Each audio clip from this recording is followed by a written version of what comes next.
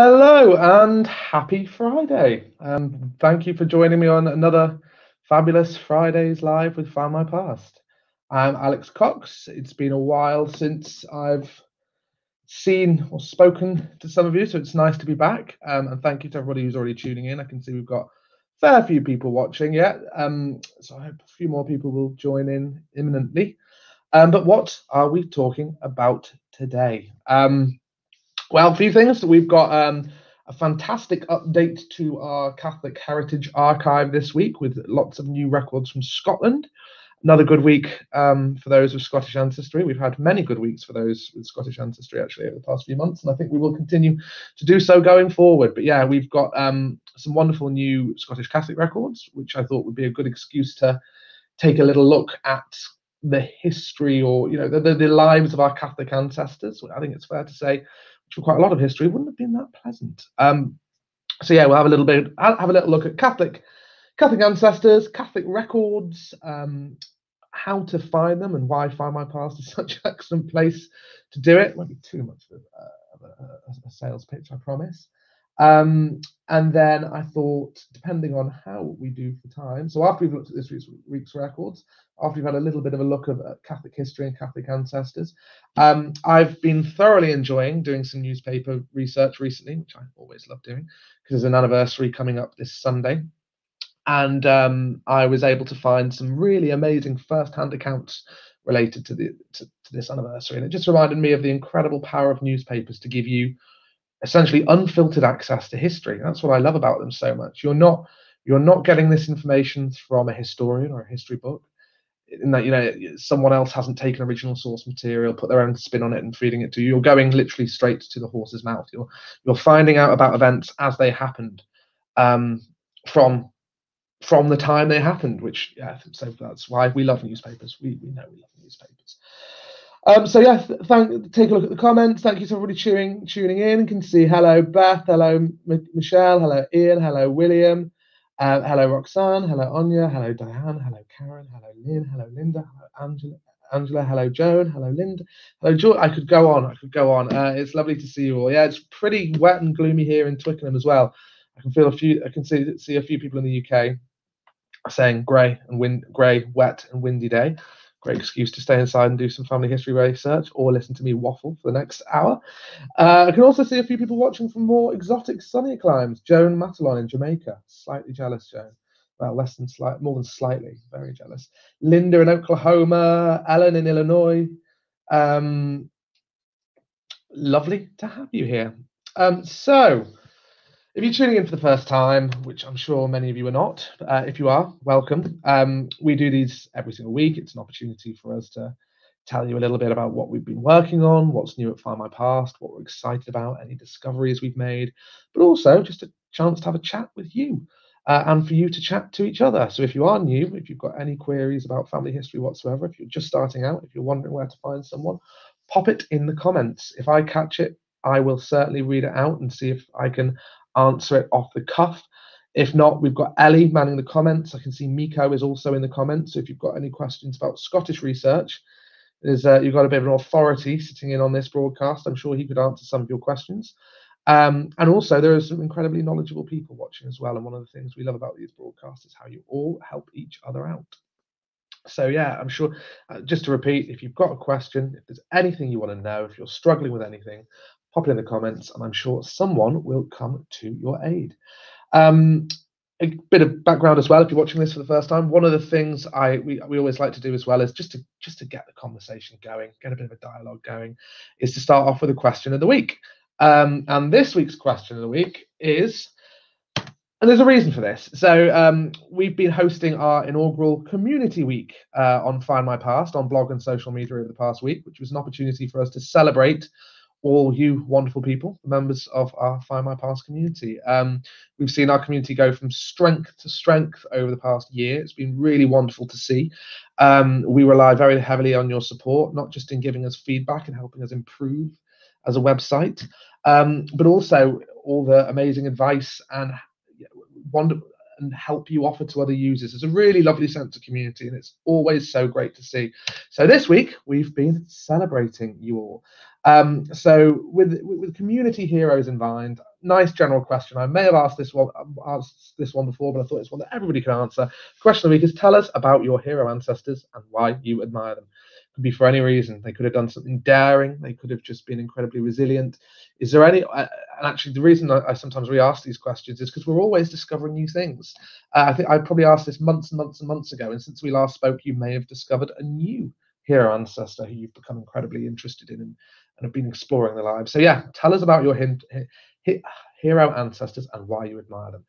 And just to help me spot them, if you could start your answer with um, the the the the the, the initials that I've actually misspelt. So just put Q uh, Q O T W uh, and then your answer. I will keep an eye out for them and I will read some of them out because we love hearing about each other's ancestors.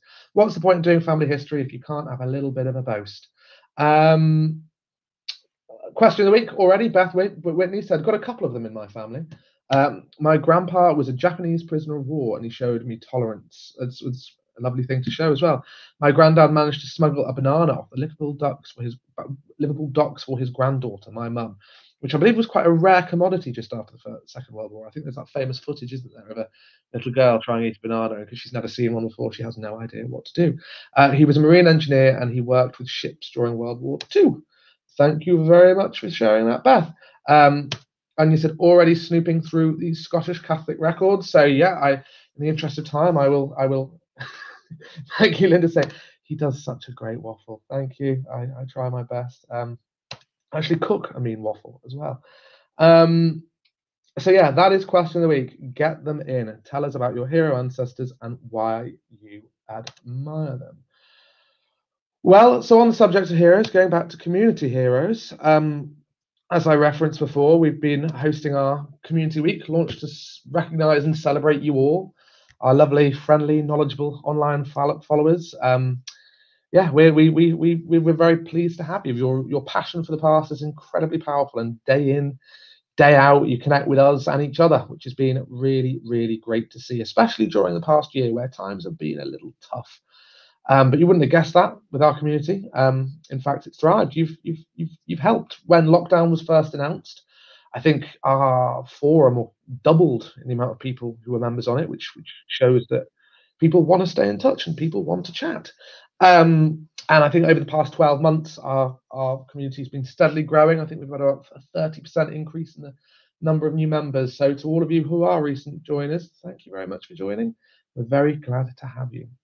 But yeah, what, what are we doing for Community Week? Well, we posted a few blogs up. Um, there was a brick walls from our community post that was investigated by our customer support team. Ali will pop a link to that in the comments if you want to have a little peruse.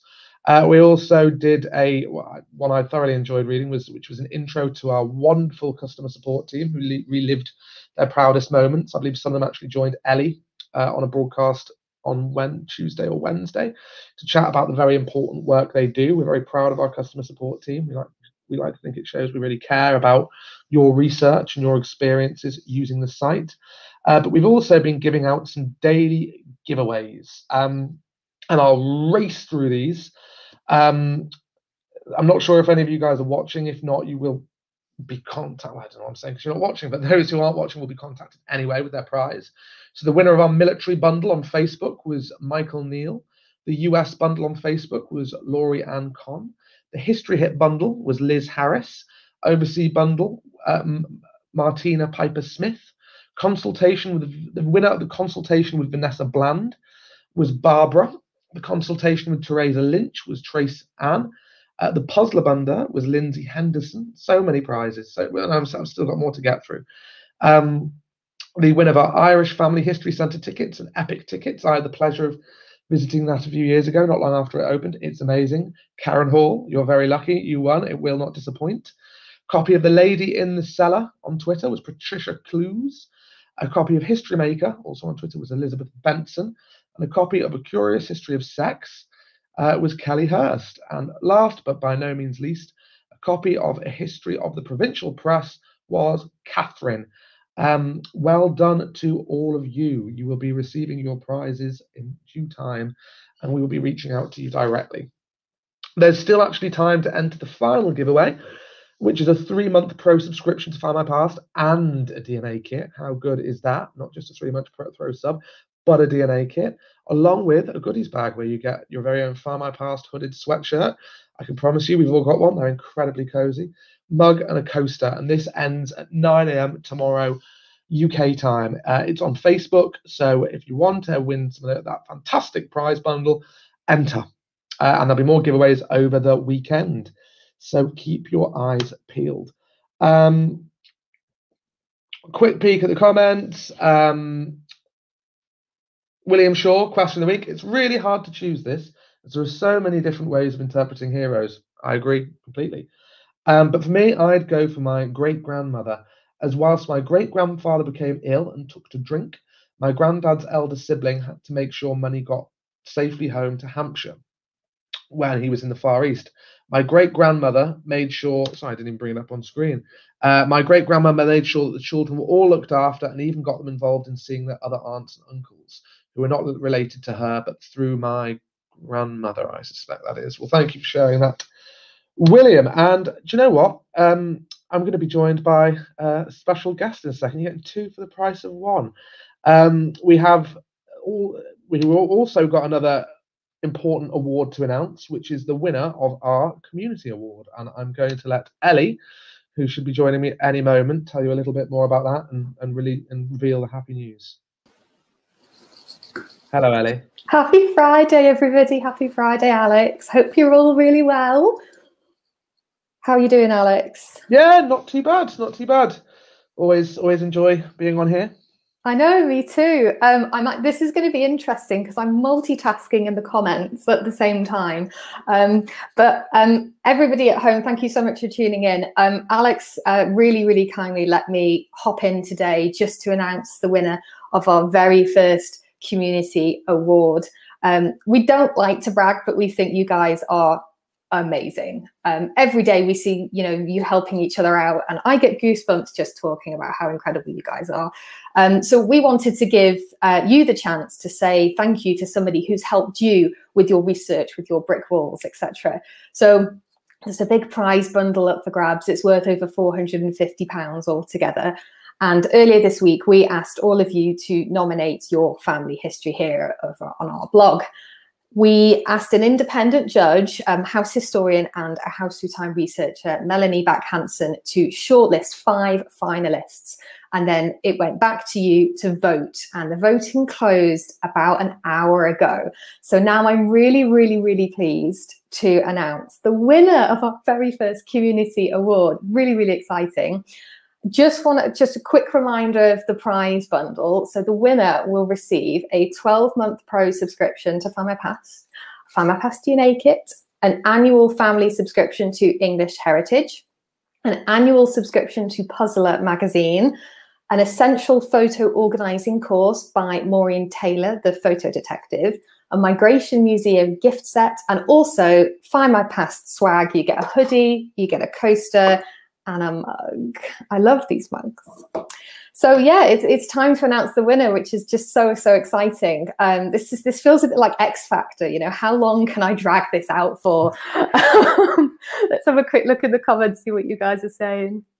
Lots of you saying hi. Well, I think we'll just get it over with. So, with seventy percent of the vote, the winner of our first community award is Anya, congratulations. Well deserved. Very well deserved. It is so well deserving. And um, we put the nomination from William up on the blog, but in fact, Anya was nominated not once, not twice, but three times, which is just testament to how incredible you are.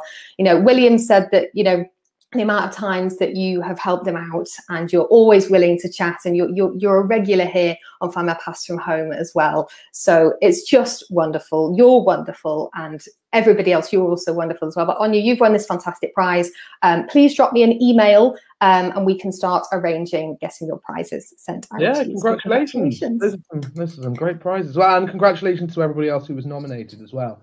Absolutely. Um, yeah, it's a lovely testament of how all how wonderful you've all been over the past past year. So yeah, congratulations on you. That's brilliant. Yeah, so that's me. I will hop out now, but I will still be in the comments. So please, uh, please chat oh, to Ellie, me. before you go, before you go, I'm just about to move on to records. Mm. Um, and one of the as part of Community Week, we've been allowing people to vote for what new records they'd like to see added on the site. And one of the record collections I'm going to be talking about in a second is is the first of those sets that have been voted for by community. How, um, if people want to vote for next week's, how do they go about doing it? Yeah, so if you head over into the What's New section of our blog on My Past, uh, you can scroll down and you can vote for one of three options that you would like to see released next week. So we listened to you last week, you voted, it got released this week, and we're doing the same again. We've got some more record sets for you to vote on. So head over there and vote. Brilliant. Well, thanks, Ellie. Okay, take care. I'm going to hop out now. Bye. Bye bye. Oh, brought you back on. uh, yeah, lots of congratulations uh, from viewers there. I can also see that this week's question of the week's been rather popular, which I'm pleased about. I thought it was a good one. So I'm going to read out a few more before I really must move on to records because time does march on.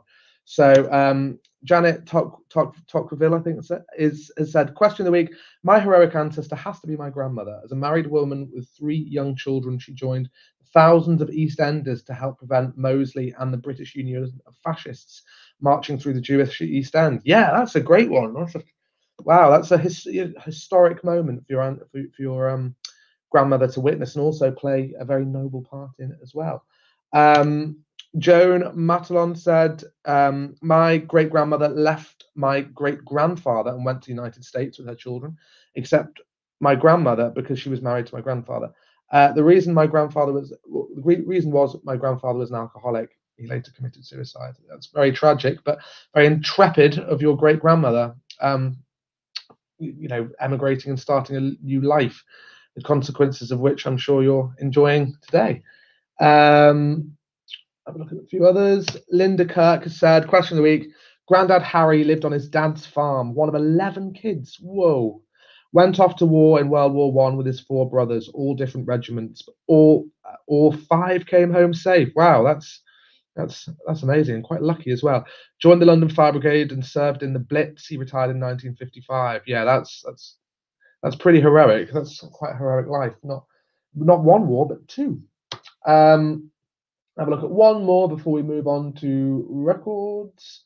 Um, Janet Sutton said, My grandfather, he was a pre war soldier 1906 to in 1913, recalled to the colours in August 1914, captured in October and survived the hardships for four years as a POW in Germany. That is a long time. Repatriated January 1919. I wish I had known him better. I was only four when he died. Wow, and I, I wonder, Janet, did have you found much about him in our collection of prisoners of war records? Because that does cover both not only the First and the Second World War, but I think it goes all the way back to the War of 1812, perhaps even before. And you can it covers a lot of um, camps in Germany or run, run by the Germans during the First World War. Uh, one more, one more, I can't resist. Um, Kath Rhodes says, My four times great grandfather who left Ireland with nothing. Each generation worked hard to improve their lives. He was a saddler. His son started off as a miner, but became a mining engineer. His son built up a business which passed to my granddad, allowed my dad to be a teacher. I made it to university and became a pharmacist. So from simple roots, I made it as a health professional. That's yeah, that's a lovely one. A great example of how you know families' fortunes can reverse through the generations, and many of us do benefit from the incredibly the incredible hard work and sacrifices that were made by our ancestors many many generations ago. I love that. Yeah, left Ireland from leaving Ireland with nothing to, to becoming a, a health professional. That's wonderful. Thank you very much. Well, as it's already 20 past four, I think I really, well, in the UK at least, I think I really should start taking a look at this week's new records because they are great ones. So, as well as the collection that's been voted in by you guys, um, the highlight this week is definitely the fact that we've added over half a million new records to our collection of Roman Catholic sacramental registers from Scotland. This forms part of our wider Catholic Heritage Archive, something we launched back in, I think we might have launched quite a few years back now. I think it might have been 2016. Uh, and this marks just the latest update to the Catholic Heritage Archive, which is largely exclusive to Find My Past. This was a groundbreaking initiative, um, or if I do say so myself, on our part, to basically start digitizing the millions of Catholic records that were had remained locked away for hundreds and hundreds and hundreds of years. I mean, the Catholic Church kept some of the well hold some of the most comprehensive and best preserved family history records out there. And until relatively recently, they were very, very hard to come by. Hardly any were online. The only way you could access them was by actually visiting a church, and access then would be at discretion of the priest. Um, but thanks to the partnerships we've been able to establish with our wonderful partners, partners in archdioceses, not only in Scotland, but in England, Ireland, and across America, we have been able to bring millions of Catholic records online for the very first time. Um, and yeah, this week's update's a biggie. So in total, it's just under 647,000 baptisms, marriages, burials, and congregational registers that have been added. Um, I'm sure Ellie will post a link to the blog if you want to um, get links to easily access all of them. Oh, I forgot my banner. We're talking about this week's new this week's new records, just so you know what I'm talking about. Um, and where was I? Talking about the records. so these are they're very detail rich as well. I mean, I'll talk a little bit about Catholic records and sacramental registers in a second, but each result that you'll get for these will bring back both a transcript and a scanned image, many of which are in color, the original register itself. And always check those images. That's why you'll find a lot of information that isn't listed in the transcript and can really help you paint a fuller, richer, more vivid picture of your ancestors' lives. Um, the amount of the, the, the information you'll get back may vary, but generally relatively consistent. Um, as I said, very rich. So for baptisms, as well as the kind of well, all the records will reveal key biographical details. You'll get a sense of when your ancestor was born. Um, you'll also find the date, location, and parish in which this the location that was being recorded took place. Um, uh, but you'll also find loads of additional details, which can be very, very useful if you're building out your Catholic family, family tree. So, for example, baptisms will reveal the names of godparents and parents. Obviously, parents are very, very handy because it allows you to go back a generation. Um, and if you can then use that information to search for registers, sacramental registers further back and repeat the process and just keep growing your family tree further back into the mist of time. But the names of godparents are also very useful as well. You know, they will often be close relatives. It may provide you with a clue to the identity of a close relative that you didn't know about. If not a relative, they're they're going to be very close family friends. Um, and if you are interested in getting a full sense of your ancestor's life, it's definitely worth having a look at who their close friends were, the people they trusted enough to um, bestow with the very important title of uh, godparent, which was taken incredibly seriously. Um, you know, historically, probably more seriously than it is today. Um, actually, saying that we we picked godparents for our son, and we, we, we spent a lot of time agonizing over that. We took that very seriously. Uh, marriages um, obviously will not will obviously provide you with the name of your ancestor's spouse, allowing you to add a whole new branch to your family tree. Uh, it'll also provide you with the names of the fathers for both the bride and groom, so also useful for tracing your family tree a little bit further back.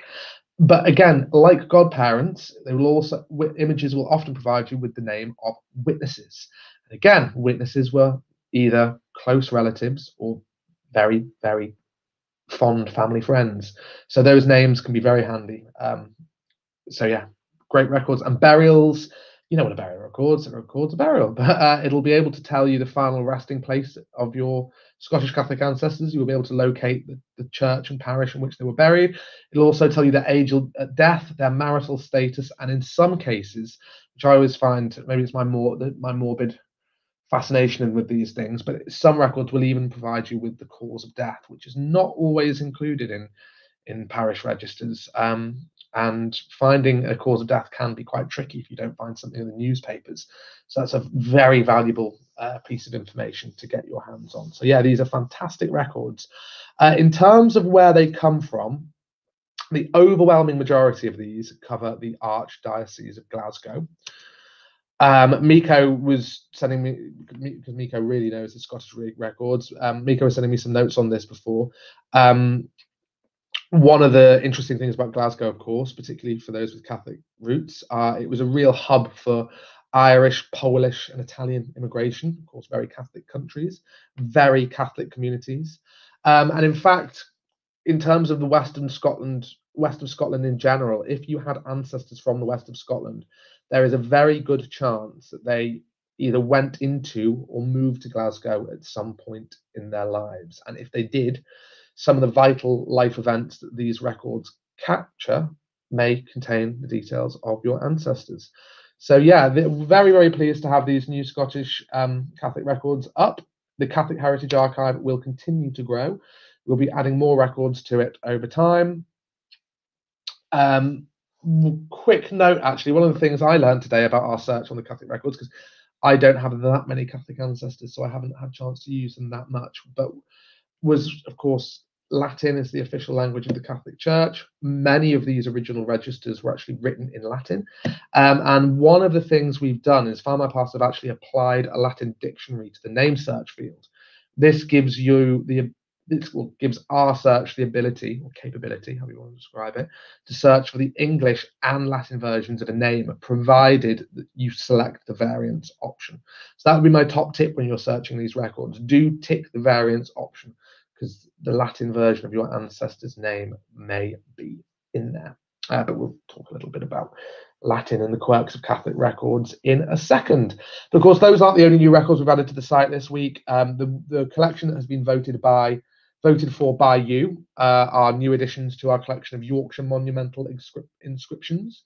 Inscriptions from God's own county, England's largest county. Really a must search for anyone with Yorkshire roots. I love monumental descriptions. I love cemeteries. I love graves. I love reading epitaphs. Um, but the reason these records are so valuable is because they can provide you with all kinds of details apart from dates and locations. They can give you the names of additional family members. You may find personal touching tributes that were inscribed at the, at the request of, of their relatives. Uh, you may find details about their occupation. There's all sorts you can find out with monumental inscriptions apart from dates and locations. So, yeah, check them out. We've got loads of monumental inscriptions from all over the British Isles on Find My Past. As always, if you want to know exactly what we've got, go to our A to Z, A to Z, A to Z of record search, pop in the type of records you're looking for, and um, it'll give you a good indication of what we've got up. And last but not least, we've added loads of new newspapers. I won't read out the full list of papers that we've added pages to. We've added additional papers to 11 existing titles, but we have what I will read out is we've added five brand new ones. So we've added the Ballymena Advertiser, good Irish paper, the Boston Spa News, the reason I find that one quite interesting is because um, Boston Spa is where we digitize our newspapers. More on that in a second. Uh, the Galway Express, another good Irish paper, Isle of Wight Journal, the Western Star, and Ballinasloe Advertiser. Um, if you want more information on that, visit the um, visit the What's New section of our blog. You'll find a full list of every single newspaper that's been added to the site and a link that will con- continually sorry, easily, immediately take you there, not continually. Um, but on the subject of Boston Spa newspapers, I know it was touched upon last week when I wasn't here, but uh, I'm sure many of you saw the news that we're very, very pleased to announce that we've renewed our long term partnership with the British Library, which means newspaper digitisation at Boston Spa is going to continue. Uh, we plan on adding, I believe, around 14, 15 million new pages over the next three or four, two to three years. Uh, so more newspapers are coming. And on that front, Ali, um, very, Ellie is typically modest, but Ellie has created a fantastic video, which I, she, I don't think she showed you last week, but I wanted to show you. It's only three or four minutes long because it gives you a, a, a great idea of the huge scale and scope uh, of the project to bring these newspapers online. So bear with me, and I'm going to show you uh, voiced, voiced, voiced over by our very own Ellie Overthrow Jones. Uh, I'm going to give you a very quick peek behind the scenes at Boston Spa. Watch this. It's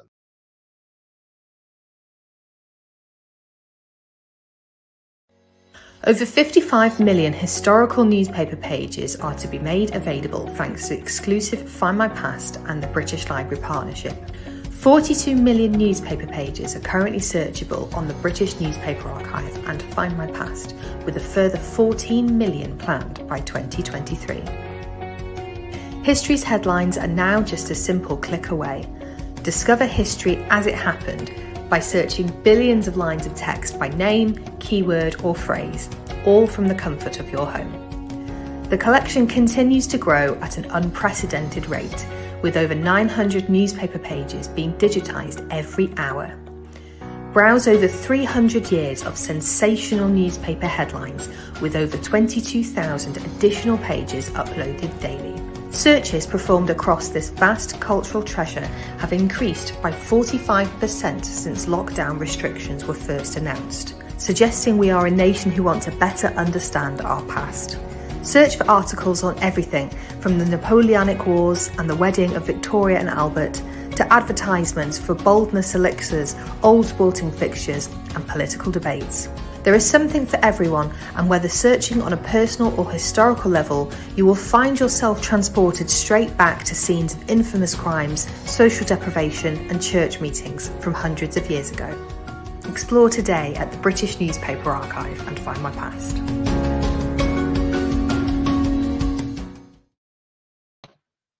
Wasn't that cool? Um, I, I loved seeing that. It shows you how high tech um, some of the processes are that are involved in, in in preserving these newspapers. They're stored in low oxygen environments. They're retrieved by robotic arms and transported by driverless shuttles to our digitization film digitization team. It's almost like something out of a Bond film, like a Bond villain's lair. But in, instead of doing evil, we're doing great good in uh, preserving these cultural treasures. I think they are cultural treasures. The national memory, you could call it, really. Not only making sure that there's permanent digital versions, which will be available for all time, but also means that anyone can explore them no matter where they are in the world. Uh, their academic background, access is for all. You just need a subscription. Um, so let's have a we've loads of more comments coming through, more more questions of the week. Um, Linda Debbie said, question of the week, that would be my maternal grandmother. She lost both her parents when she was nine years old and then lost two nephews in World War One. Also, her husband was wounded too. He died in 1926, aged just 35. She then lost a daughter, aged 19. Yeah, that's a lot of loss to deal with in one life. Um, one from our winner, Anya. Question of the week. Oh, there are heroes for many different reasons. I always go back to my five times great grandfather, Robert Carey. He was born in Westmeath and signed up to the 42nd Regiment of Foot. We, uh, he was at Corunna where he was injured, and the whole regiment ended up in Musselburgh, near Edinburgh to recover. That was where he met my five times great grandmother. She ended up traveling with the regiment as a woman, as women did in those days, and Robert was in further action right up until Waterloo. Wow, I can't see the rest of that comment. I would have loved to have carried on reading it because that is a great ancestor and a great story. Um, great comment from Myko. Just to let you all know, Find My Past intends to be the place, not just a good place, the place to go to find all of your Scottish ancestors, no matter their faith, be it, be it Catholic, Episcopal, Free Church, or anything else. There are many, many more.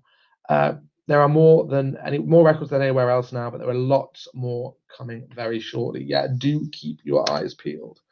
Um, Audrey, uh, talking about Catholic records, I was able to visit the Catholic Church, St. Pan- St. Patrick's in Anderston, Glasgow, where my grandparents, great grandparents, and other family members married, and where there is a memorial plaque to my great great grandfather and other parishioners who were members of the crew of the HMF M. Ermine, sunk by a German U boat in 1917. Oh, wow. Well, Audrey, it sounds like these this week's records could be right up your street, um, being from the Archdiocese of Glasgow. Let us know if you find anything in there one more comment, I think. Uh, oh, Sylvia. Hello, Sylvia. Lovely to see you. I've had a behind the scenes tour at Boston Spa. I'm jealous. I, I, I, I've meant to have one for years now and I haven't got around to it yet. Amazing to see how they look after the material. Yeah, they do. Very, very carefully cared for. And we're very proud to be involved and very pleased that we get to continue this work. So it's already 35 past. I think I should probably start talking about Catholic ancestors because that's what I said I was going to do. I always like to have a little bit, bit of a look at social history or, or, context. You know, what was it like for our ancestors Um, what was life like? What were the times they lived through? What, what were the experiences they endured? Um, and I think for quite a lot, for, for, for quite a lot of history, the experiences of our Catholic ancestors was not particularly pleasant. The history of Catholicism in Britain is fascinating. It's a story of persecution, really, story of hardship, story of struggle. Um, ever since the separation from Rome, which was spearheaded by Thomas Cromwell, you know, of, of Wolf, Hall, Wolf Hall fame, the man we can thank for parish registers. Um, things for Catholics in the in the UK weren't particularly great. Cromwell was an interesting guy. I mean, he'd been a relatively unremarkable MP, uh, but then he delivered this supplicate, supplication of the Commons against the Ordinaries, where he argued passionately that if England could become the most powerful, he argued that England become the, could become the most powerful state in Europe if it shook off the shackles of foreign ecclesiastical courts and became truly independent. Um, and he drove he was the real driving force behind this separation. People blame it on Henry VIII and his desire for a divorce. It wasn't really. It was Thomas Cromwell who wanted this.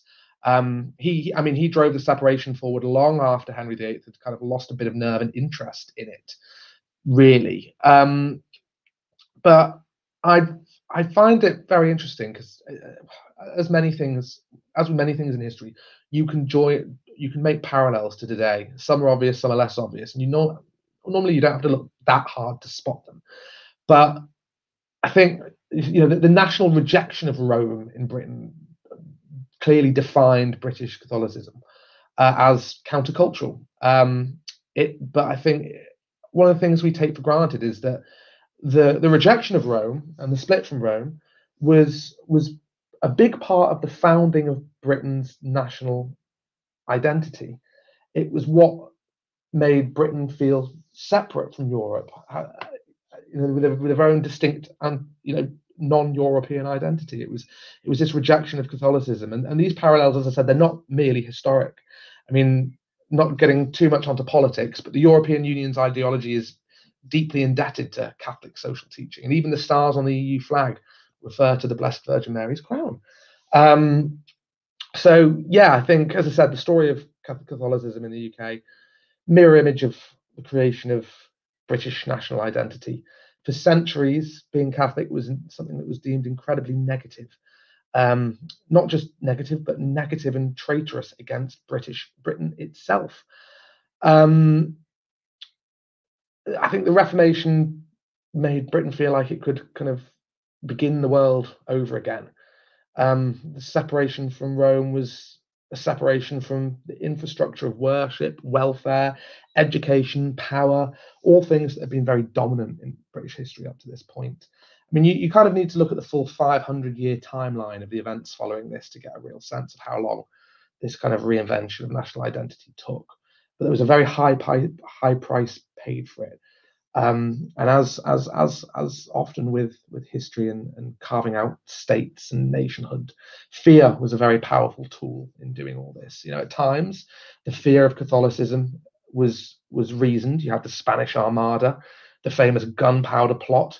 I mean, I think it shows that we're still living with with the legacy of some of these events that you know on November the 5th around the country, people still burn effigies of a man who was executed for attempting to blow up Parliament due to his Catholic faith um, and as a result of the persecution Catholics were facing.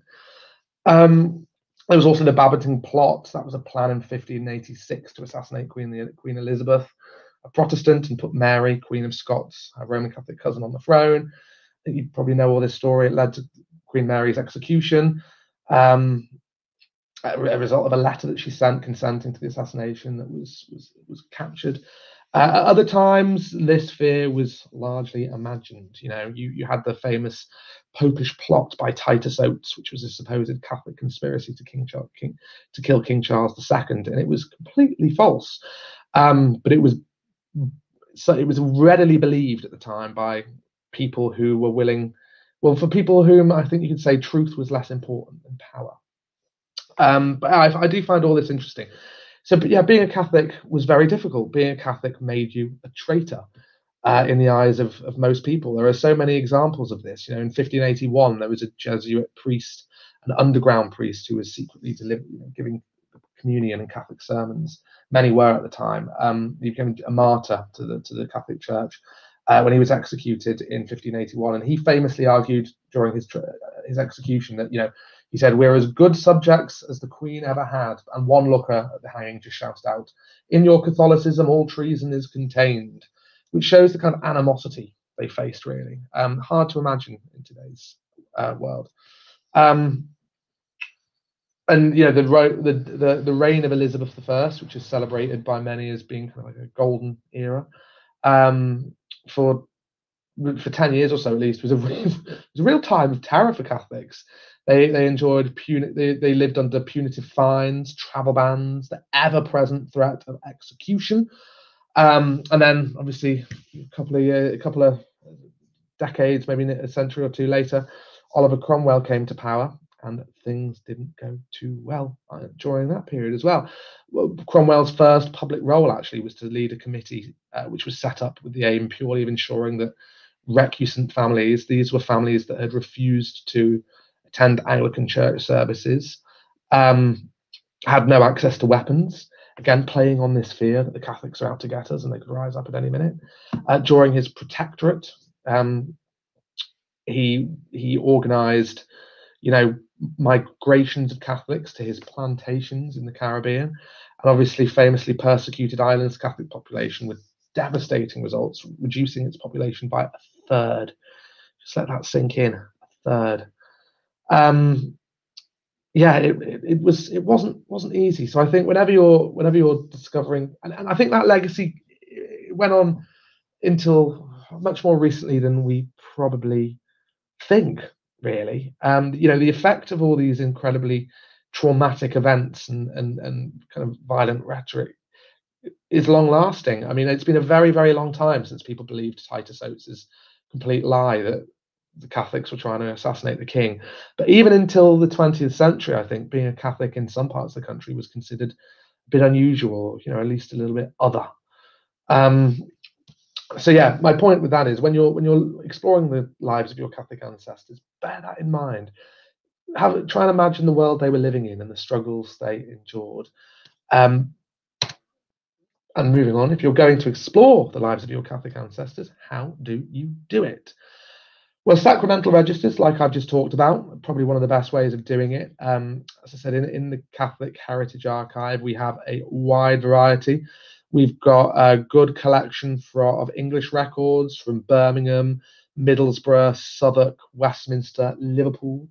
Uh, the Liverpool collection I find particularly interesting, not just because I'm from that neck of the woods, but because it was such a um, migration hub. I mean, between 1830 and 1930, 40 million people left Europe in search a better life. Um, and roughly 9 million of those 40 million, so pretty much a, four, a quarter of them sailed from Liverpool, which was then the most important emigration port in the world. Uh, these people were traveling to North America, Australia, New Zealand, the New World, essentially. Uh, and there were millions of Irish, English, Scottish, Italians, Germans, Polish, many of whom were Catholics, and many of whom got married, died, or had children baptized in Liverpool. They are captured by these records.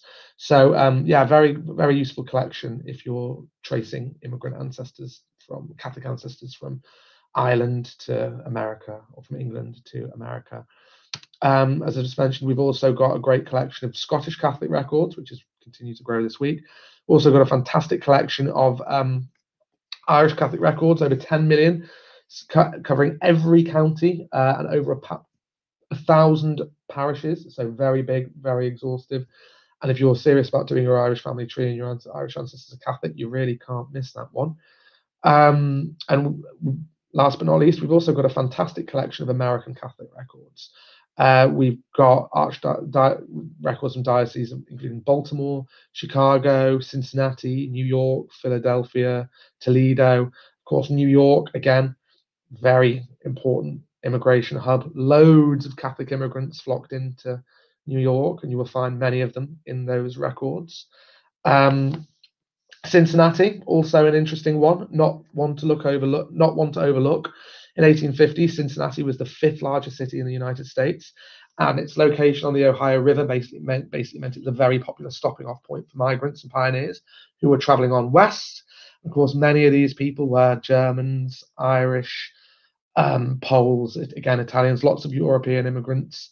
And just as with Liverpool and New York, many of them stopped off here, had children, got married, died, and you will find them in these records. Um, but yeah, sacramental records are effectively parish records. It's very similar to English parish registers. And in type, they you know tend to comp- they tend to be made up of baptisms, banns, marriages, and burials, not too dissimilar to what you'd get when you're exploring Anglican parish records. Then there are, of course, sacramental registers, which give a different, somewhat narrower view of events, but they're I think they're really interesting because they can give you a really nice idea of your ancestors' relationship with the church. You'll find all sorts in, in congregational records. I mean, you'll find things like uh, maybe records of their first communion, their first confession. You may even find the location of the seat they rented in church. If they were particularly avid churchgoers, they were and they rented their own pew. You'll find that in congregational records. Always not always worth not overlooking congregational records. Um, I mean, you baptisms are core; they're essential if you're building a family tree. Um, as, as I've already touched on, you'll find many um, family members included in them, whether they're parents, whether they're godparents, close relatives. Um, one thing to note, actually, with Catholic baptisms, actually, is that there is a much higher proportion of adult baptisms, i.e., converts, you would find in Anglican records. So don't just focus on children. Uh, you may find people getting baptized much later in life. Banns are also very useful. Um, I'm sure most of you know what banns are, but if you don't, they're declarations of an intention to marry. Um, not a particularly common feature of Catholic record keeping, um, as the band is not not really a sacrament. They're largely administrative. They're largely an administrative and legal feature, uh, permitting members of the congregation to object if they observed an impediment to the upcoming ma- marriage.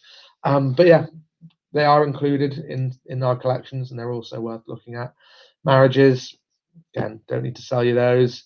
Perfect for finding the details of uh, your ancestor's spouse, adding a new um, branch to your family tree. Um, and in, particularly with Americans, they're particularly useful in America because they will often give play, details of place of origin on, of both the bride and groom. And if those are immigrants, that is tr- tremendously interesting. You know, the place of origin overseas is often vital in prosecuting, if that's the word you want to say, and pursuing a successful search back in the homeland, for example, whether it be Ireland, Italy, Lithuania, Poland, Slovakia, wherever they came from. Um, burials also very, very, very useful.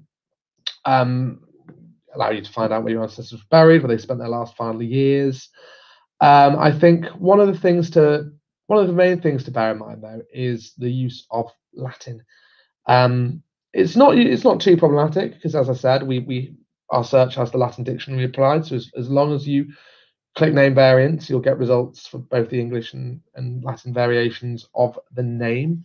Um, I mean, it can introduce some challenges. If you go to the bottom of a search page of any of our Catholic search pages, you'll find a little bit of a glossary, terms that you can keep an eye out of, like keep, keep an eye out for, like die mensis, day of the month, filium, filiam, son or daughter, matrimonium, obviously relating to the sacred sacrament of the holy ma- of holy matrimony, um, nomina parentum, names of parents. Um, but I think the thing you really need to bear bear, bear in mind is um, how Latin applies to proper nouns, forenames, basically. Um, so, for example, Jacob may be re- written as Jacobus, Jacobum, or Jacobi. Maria could be Mir- Miriam, Mireille. Um, so it's worth doing a little bit of um, reading around Latin and the version that was being used. so yeah, we're very proud of our, our Catholic records. We've got many, many, many, many, many of them on site. Um, uh, best way to find out more about them, I think, is just going to our A to Z, A to Z typing in Catholic, and you will see that there's not just baptisms, marriages, burials, sacramental registers, all that kind of thing. You'll find things like um, oath rolls, um, congregational records, convert rolls, Catholic qualification rolls, diocesan newspapers, Catholic censuses, particularly in places like Westminster, uh, Catholic church directories for Ireland. Um, there's there's quite a rich variety there, so check it out. I'll have a quick look at some comments um, before we start wrapping up. Um, Lloyd said many families in Europe were split based on geography. My closest royal was a second cousin, Polish princess, twice, and then Duchess. Her first marriage nullified by the Pope, but otherwise the family was completely Reformation outside of Poland. Oh wow, that is interesting. Um, Joan Felt, I think, saying uh, about the records, this is great news. My Church of Scotland. Oh no, this, I think this is Myko's teaser. All the records that are coming. Uh, my Church of Scotland family disappeared. No hints on where FMP tree for Muirhead family from uh, 1800 to when they arrived in Australia in 1849, but I'm constantly using your fabulous clues how to research.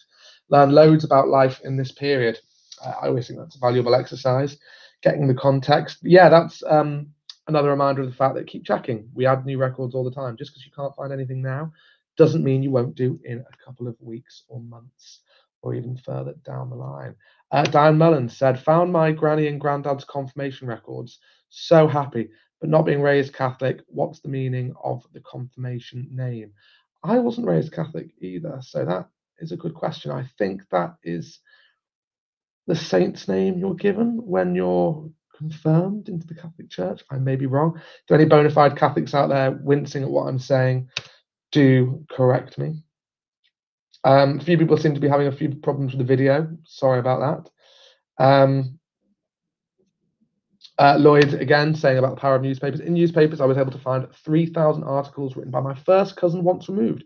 We recently found out she'd passed away due to uh, due to due to an heir finder. Oh wow, that's that's cool. Well, not, it's tragic she was passed away, but it made uh, interesting that the heir finder uh, got in touch to let you know. Uh, lost contact during COVID as we didn't realize her descent into difficulty. Oh, that's sad.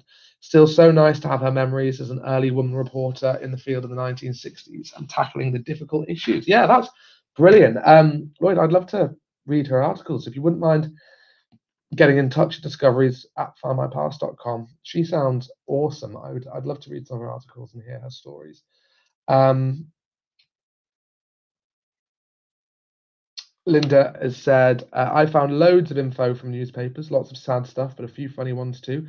My great grandmother was a witness to a murder. Wow, yeah, and that's the kind of colour and rich detail that you will only find in newspapers. And that leads me nicely on to my final, final point. Of course, um, this Sunday marks the 77th anniversary of the Normandy landings, the largest scale invasion in human history, an incredibly important watershed moment of the Second World War paved the way for the liberation of Western Europe. I know it's not a major anniversary, but I'm I have a personal interest in D-Day because, as I've told you all many many times, my grandfather was there, uh, and I went to Normandy with him to revisit the beaches, which was an amazing experience. Um, but but as the anniversary was coming up, I obviously World War II records are quite hard to come by. Ministry of Defence still hold most of them. Um, but know, there are loads of other resources you can use. We've got casualty lists, Commonwealth war graves lists, prisoner of war records, all these other things you can use to find out more.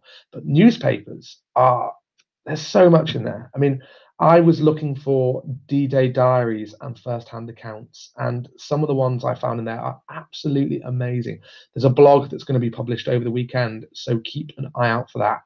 Um, but they're fantastic. I mean, it's amazing hearing veterans' recollections you know 70 77 years after. But i think it's also amazing to hear these accounts immediately after the events took place. Uh, and that's what i love about newspapers. It re- you really are accessing history unfiltered. Um, as i said i don't want to give too much away because the blog post is going to be coming soon. Um, but yeah, there, there, are really, really vivid first-hand accounts in there. I mean, the, the ones I found, my favourite ones were um, a Hull soldier's vivid hour-to-hour diary that was published in the Kirriemuir Free Press and District Advertiser, which um, had its last issue in 1960, but this was published on the 6th of July 1944. So literally a month after the landings took place. Um, it was they were written by a chap called John Robson, who was a photographer for the Hull Daily Mail.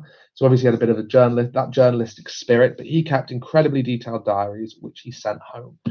And he had quite a dangerous job. He was one of the advance parties that had to clear the mines on the beaches and prepare uh, a road through for the troops that were going to follow the advance. Um, and it's vivid. You know, you really get a sense of what it was like being there. You know, sense the nervousness. So he starts by saying, We're all very quiet as the craft begins to ground. The bows are beginning to lower now. I prepare to jump into the sea. Not yet. The craft did a little waver, nose is nearer and further up the beach, grounds again and then stops. I jump as a th- as third man into four feet of sea, swirling with current. I can see figures lying prone to the earth, firing at us through the smoke of a burning tank which is a salvation for something which had gone adrift with the smoke screen on our sector of the beach. The RE lads on my left side gave the the RE lad on my left side gave a grunt, goes down, floundering in the sea, swirling around in the current to be drowned, most likely. My fingers just slide over his clothes as I make a grab at him. I was helpless to do anything much for him. Burdened as I was with all the kit, I couldn't even fire my rifle in protect protection. And that's incredibly tragic to read and echoes my grandfather's experience. I mean, he was incredibly traumatized by the events of the landings. And one of the things that really stuck with him was seeing all these very young lads, you know, 19, 20 year old lads, struggling in the water with these heavy packs, drowning. And the whole point of the operation was move, move, move, get off the beach, don't clog things up. There's nothing they could do to help them. They just had to move on. Um, Uh, it, yeah, this diary is fantastic. He talks about as they near the edge of the water, they spread out. Other craft had grounded further along the beach, and he was now abreast of them. They were disembarking with all types of material about their person, just as helpless as himself to shoot back at the beach defenders. Some of the boys, he says, some of the boys go down at the water's edge for a breather, but they come under direct machine gun fire, which which crisscrosses the whole beach.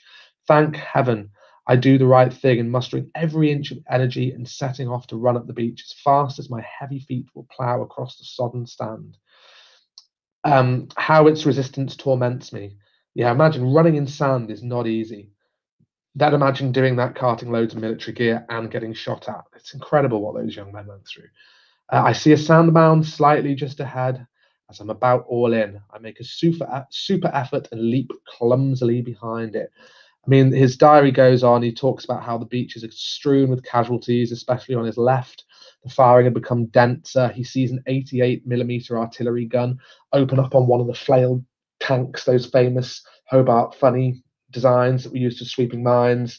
As it thundered up the beach, the first shot missed its target, hits the beach 20 yards from the company, diminishing, diminishing the company's personnel still more.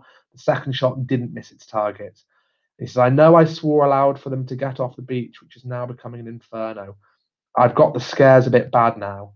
Never in the whole African and Sicilian skirmishes have I been so scared as I am now.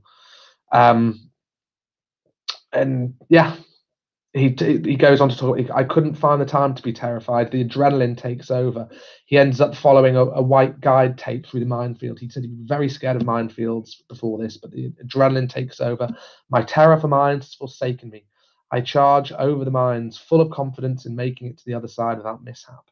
How I'm staring at the far fence now. I've started to come out of the minefield. To have won some to have won some world championship in sport couldn't have given me more satisfaction as I step out. So yeah, just wanted to remind you that if you're interested in the Second World War and first-hand accounts or first-hand accounts from anything, search the newspapers. There are loads of them in there. Um, yeah, on, your waiting on my World War One, World War Two book to be released. Yeah, I should probably write one. Um, but yeah, I'll be I'll be sparing a thought for all those brave fellas that didn't make it off the beach 77 years ago on Sunday. Um, and I urge you to you to do so too. Um, I love that epitaph, John Mac- Maxwell Edwards. For our tomorrow, they gave our today. Incredible sacrifices, brave, brave, brave men. Um, but yeah. oh, Patricia Clues. My husband's uncle drove a landing craft on D-Day. He was just 18. Wow, it reminds you, you know, the, the youth um, of these guys and the incredible bravery. It's incredible. But yeah, uh, it's bang on five o'clock. I'm going to have to leave you. Thank you very, very much to everybody who has. Um, oh, Niall's already published the blog, uh, and you can read about it here. If you if you enjoyed those, uh, oh, that it's, that's the blog about my. Uh, that's the blog about the D-Day diaries. Um, and there's also um, a blog about my trip with my grandfather to Normandy. So visit the Find My Past blog and take a look. Um, thanks very much for everyone who's tuning in. Thank you for everyone who submitted question of the weeks. Thank you to people who've been submitting tips. I've seen a few people doing that. You're heroes. That's why I love our community. Um, this has been great fun. I'm going to bid you all a very fond farewell. Um, I will see you again in the not too distant future. Happy have a have a wonderful weekend. Stay connected, stay safe, stay researching, and I will speak to you soon. Bye bye.